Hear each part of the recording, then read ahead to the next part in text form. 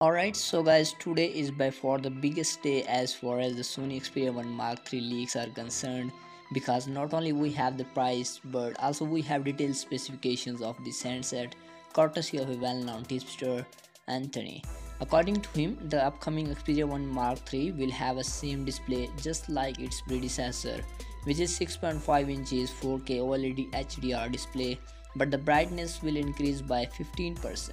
At the same time, the smartphone will come with the latest Qualcomm Snapdragon 888 SoC which is impressive because it allows the phone to do things like capture 3 simultaneously 4K HDR video streams or 3 28 megapixel photos at once at up to 2.7